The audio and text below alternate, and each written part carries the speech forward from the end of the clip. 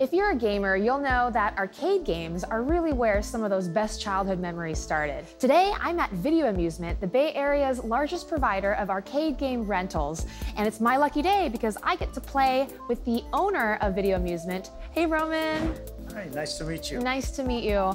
Tell me about how you started this incredible business. It all started 35 years ago when I arrived as a 25 year old refugee from Czechoslovakia. And I got one of my first jobs with Atari at the newly opened game room. And I started to work as an attendant for $4 an hour. Who would you say, or what would be your main client base? Most of our clients are corporate and high tech companies. Tell me about the games that we have here. I see a mix of old and new. We have a selection of the latest driving games, bowling games, basketballs, Space Invaders, Pac Man. These days, everything has to be giant. I see the resolution on some of these screens is so much better than what I remember. The technology changed and advanced. Today, we have 42 inch LCDs do you assemble these machines yourself? Well, the machines come already assembled from manufacturers. However, the machines are constantly moved.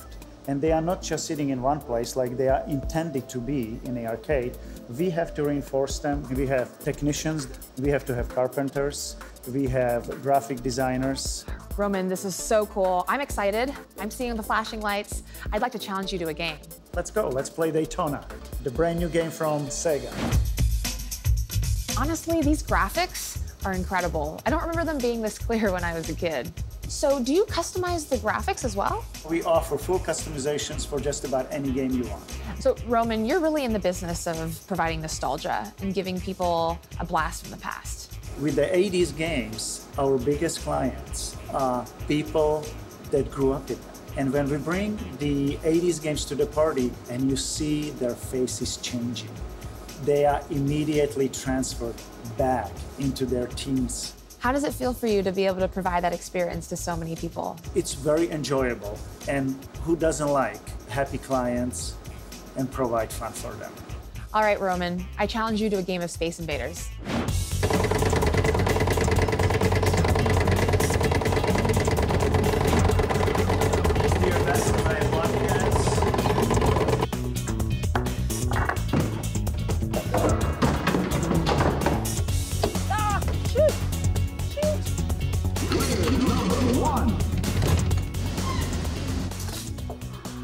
Roman, that was so much fun. Thank you.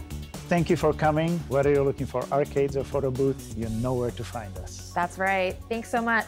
Thank you. Bye. Bye-bye.